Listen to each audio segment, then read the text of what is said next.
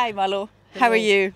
I'm good. I'm good. Yesterday was quite a long day uh, on the legs, but uh, this morning we hike up to Jara, this mountain, and uh, the legs were quite okay. So this is cool. We will see in the future how it is, but this is cool, and also to see the sun, very very cool.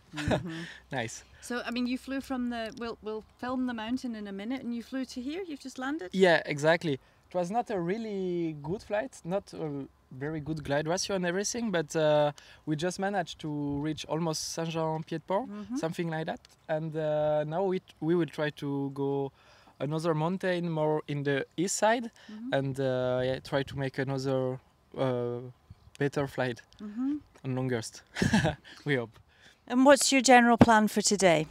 Uh, globally, it's just to make uh, one hike now and uh, then make quite a long flight. We will see if we choose more uh, the flats or more the mountains because there is quite a northeast wind quite strong. So we will see. And uh, there is already some people on both plans and uh, yeah we will try to see which plan is the best. And uh, yeah try to fly as much as possible to take a rest for the legs Yes, yeah. I mean, it was a, horrific day to, yesterday, but today, as you say, the wind is. I mean, we can see the clouds moving quite a lot. Yeah.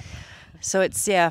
I mean, the decision between flatlands and mountains, I think, is pretty critical today. exactly this is the thing like uh, the mountains can be a little bit tricky but also in the flats there is just little mountains so yeah we will see try to take the good decision and go yeah straight to straight to it so yeah will be a funny day Well, I wish you every luck making the best decision you can, and I hope it really works out for you. And we'll see you along the coastline in the next couple of days. okay thank you very much Thank, you. bye Bye.